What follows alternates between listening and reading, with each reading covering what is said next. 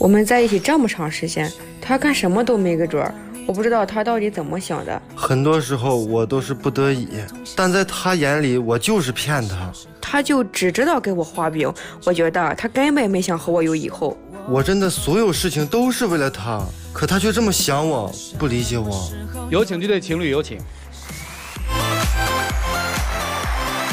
小宋二十五岁，来自黑龙江销售，有请。小郭二十四岁，来自山东销售，有请。谈两年了，两年了，想娶人家吧？想，真想假想啊？我是真想。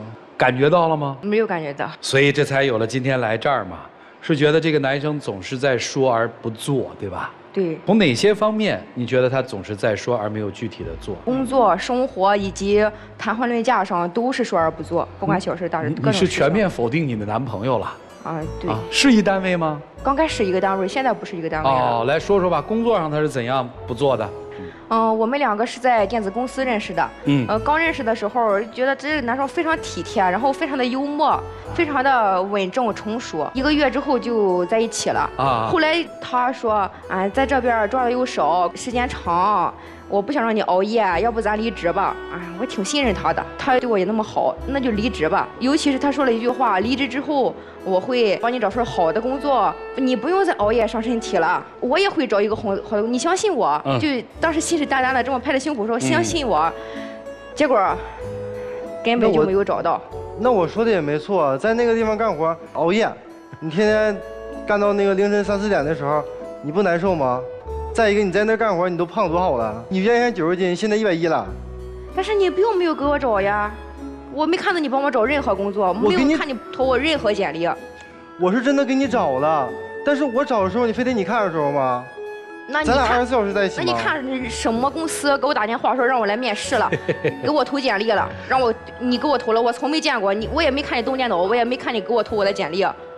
就因为这样压力很大，嗯，我只能自己去找一份工作，我找了一份销售工作，嗯，当时我说要不你和我一块干吧，咱这样的话咱俩那生活上还能好一点，嗯，结果呢，啊，我有自己的想法，你先不用管我了，我我能找到好工作的。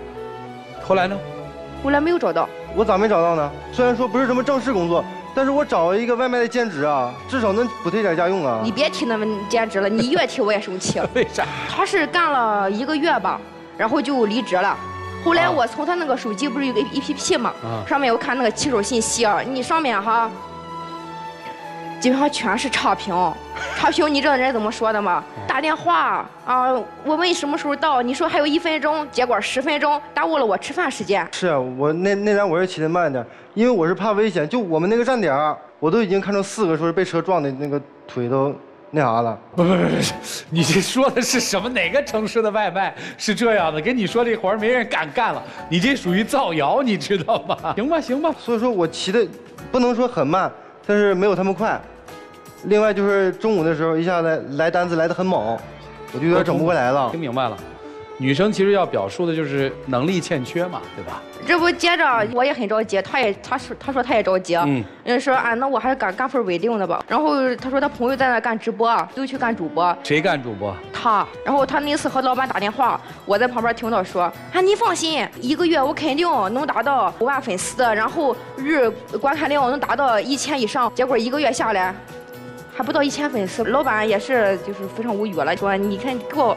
画饼我就把他辞退了。不是，其实对于一个新人来讲啊，一个月你能到达九百七十多个粉丝，我感觉也还算可以了。我感觉啊，不容易，不容易，不容易。但是你没告诉老板你是新人呀。你现在不得包装自己？如果你如果你不包装自己，谁要你啊？现在你包装有点过度了吧？而且如果是你不这这么包装自己，你也不会被辞退，就因为老板对你期望特别大。所以我听明白了，女生认为自己的男朋友在工作上不踏实，对吧？